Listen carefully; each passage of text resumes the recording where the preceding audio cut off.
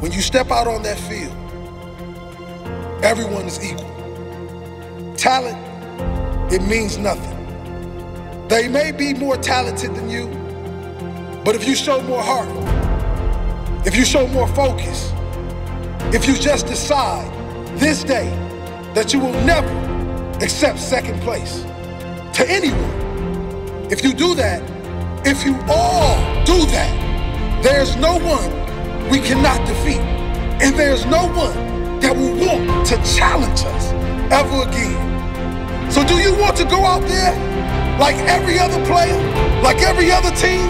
Or do you want to stand up this day to make this day count? Make it count. Leave your heart and soul out on that field. Make them remember who you are. Make them scared to ever set foot on the field with you ever again. Make them remember who you are.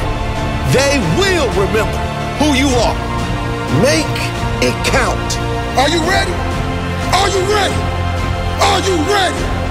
Every tackle, make it count. Every challenge, make it count. Every contest, make it count. Every shot, every pass, make it count. Every tackle, every challenge, every contest, every shot, every pass, make it count. Stand up this day.